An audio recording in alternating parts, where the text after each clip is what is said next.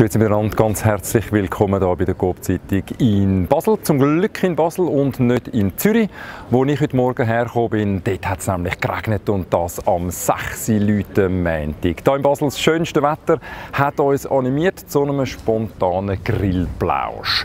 Äh, grillieren, das Thema auch in der Zeitung. Für uns immer ein kleines Wagnis. Wir planen damit ein Bier ein bisschen voraus. Logischerweise wissen nicht ganz genau, wie sieht es aus, so Mitte April. Das Mal haben wir richtig Glück gehabt auch. Wettermäßig soll es eine prächtige Woche geben. Ich wünsche Ihnen eine ganz gute Zeit und ich freue mich jetzt auf meine Wurst.